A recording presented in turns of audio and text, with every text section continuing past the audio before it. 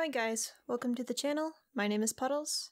Now, I'm normally a goody two shoes, but I still managed to get thrown into detention for the silliest reason imaginable. This story takes place back in senior year of high school. Theater class was one of those classes you just took for the credit, and if you really wanted to make your last year as easy as possible. The downside of theater class was pretending to be a sheep for a whole 30 minutes, and the fact that it was boring as hell. My friend, Spooky Cappuccino, and I would just be on one of the many laptops for the entire class, playing cool math games or whatever. The teacher didn't care. He wasn't even teaching anything aside from telling us how glorious Shakespeare was.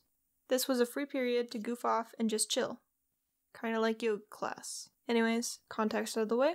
Since it was so boring in that class, my friend and I decided to see if we could sneak out of class early. It was mostly my idea. Like, what was the teacher gonna do? He didn't care. He was over by his desk looking at his phone the whole time.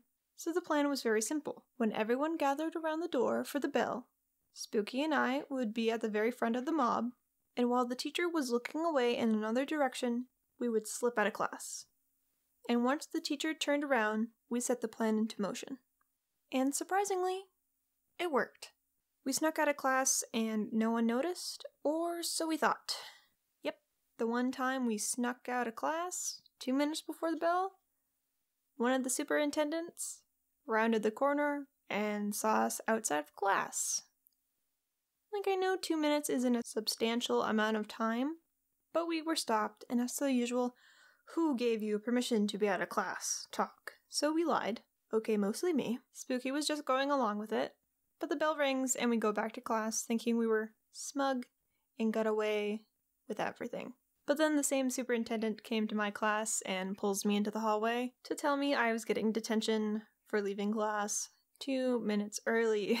Now, detention isn't like what the movies say it is. I was expecting a breakfast club scenario, but we were just in a storage room uh, with chairs to sit on, and for the entirety of lunch, we just had to sit there in silence with the superintendent watching our every move. Like, Spooky didn't even get the same detention as me.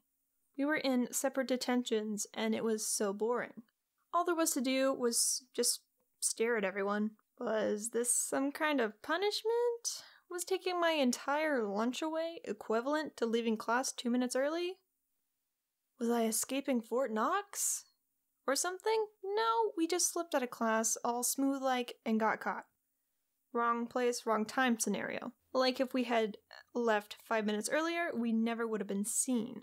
Which is ridiculous. But anyway, I got through detention, all is well. Did I learn my lesson?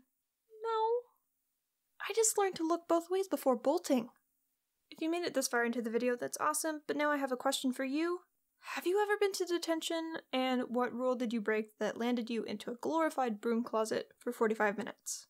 Thank you all for watching. Make sure to like and subscribe to the channel if you want to see more content like this. And with that, have a good one.